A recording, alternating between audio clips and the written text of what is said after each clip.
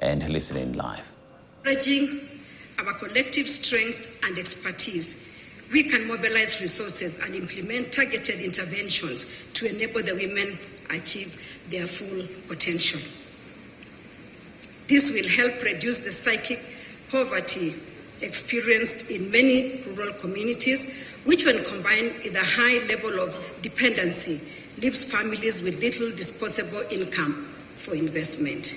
This movement has the power to create a roadmap on how to profitably and sustainably use the resources and talents available in the Nyanza region. The roadmap, once implemented in collaboration with the local county governments, the Lake Region Economic Bloc, and the national government, will contribute to the prosperity of our nation. Let us tap into the vast network of support present today and implement the activities outlined in the strategic plan. In closing, let us remember the words of former American President Theodore Roosevelt, who said, and I quote, This country will not be a good place for any of us to live in unless we make it a good place for all of us to live in. End of quote. With these few remarks, it is my singular honor to officially declare the Professional Association of Nyanza Women's Strategic Plan officially launched.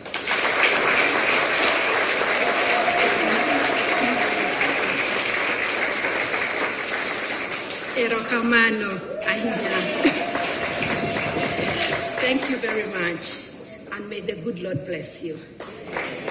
Just before I sit, just allow me um, to say one thing, and of course to appreciate um, the justices that are here. Um, they are very close to me because they are uh, alumni of Butere Girls.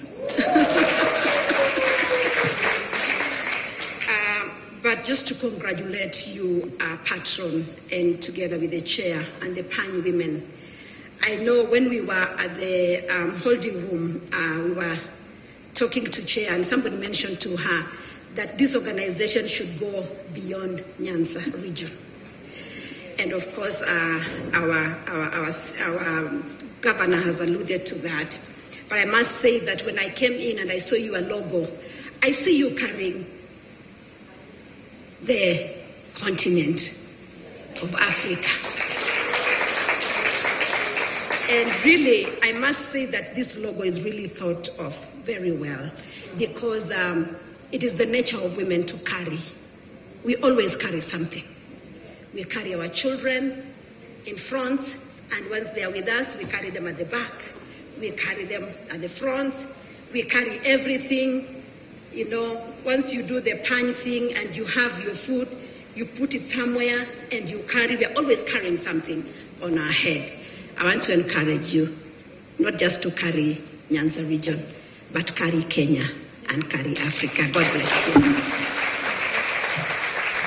Let us celebrate our First Lady. I would like to invite our First Lady to just take a step there, and if we could be joined by the spouse of the Deputy President, as well as our patron, C.S. Owalo, our chair, Betty Adera, and our two deputy patrons. Honorable.